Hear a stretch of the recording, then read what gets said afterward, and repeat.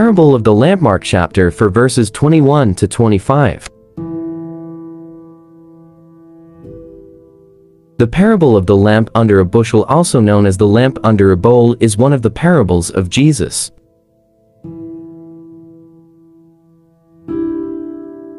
In Matthew, the parable is a continuation of the discourse on salt and light in Jesus' Sermon on the Mount. The parable also appears in the non-canonical Gospel of Thomas as saying,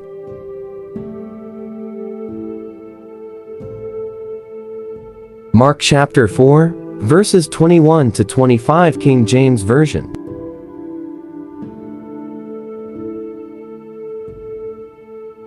And he said unto them, Is a candle brought to be put under a bushel, or under a bed, and not to be set on a candlestick?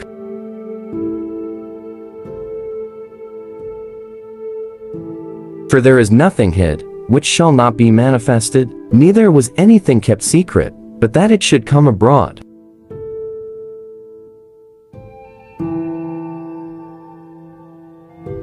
If any man have ears to hear, let him hear.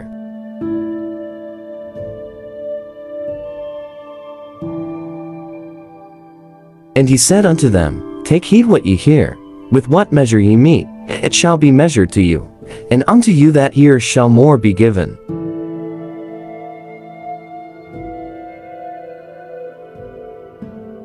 For he that hath, to him shall be given, and he that hath not, from him shall be taken even that which he hath.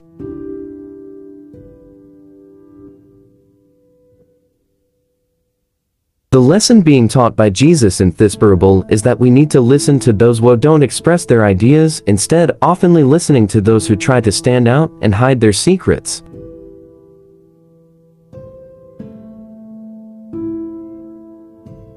We know this is the lesson in the parable because it says hidden things will be brought out into the open so that everyone can listen and understand it.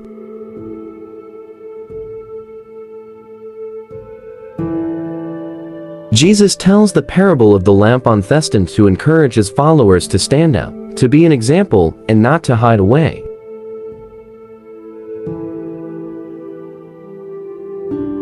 Those who have received the light of the gospel are not to conceal it, rather they are to let it shine through them for others to see.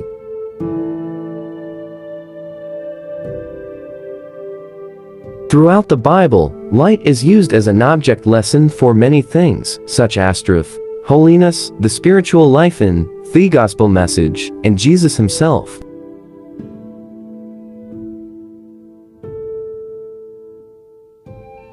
The point is, Jesus does not want you to hide what he has done in your life.